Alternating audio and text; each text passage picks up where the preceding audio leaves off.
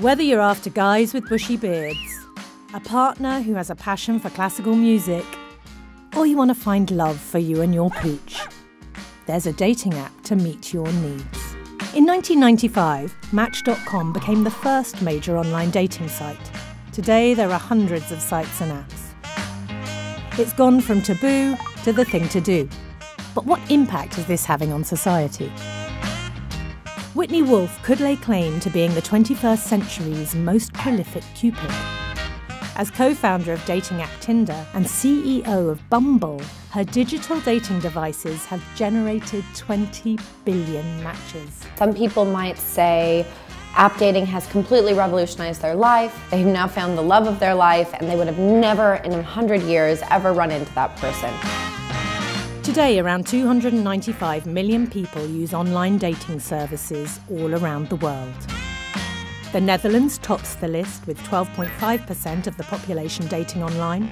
South Korea follows closely behind with 12.4%. In China, one app alone, Momo, has 180 million registered users. You have to think about what dating was before. It was limited to your social network, to the people you knew. And the funny thing about the way we act as people, um, we don't always branch out. We don't always expand our networks. But online dating has enabled people to meet potential partners from further afield. I really do think it expands horizons and gives you access to um, being with people that you traditionally would have never had the chance to really grow close to.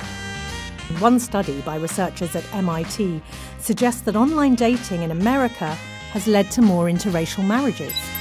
The technology has also made it much easier for people in minority groups to meet each other. 70% of gay couples in America now meet online.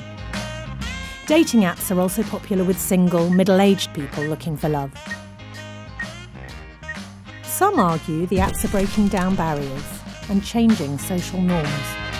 Whitney Wolfe launched Bumble because she wanted an app where women make the first move.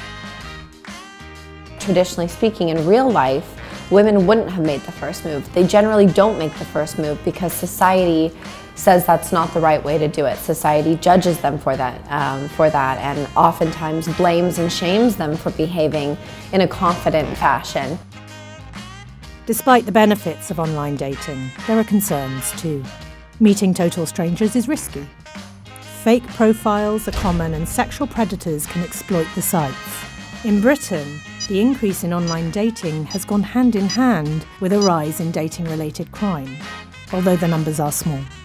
Despite the growing popularity of online dating, the majority of straight couples in America still meet through friends. But according to the projections of some online dating companies, 30% of all relationships will start online by 2026. Online dating is big and set to get bigger. Maybe online love will conquer all.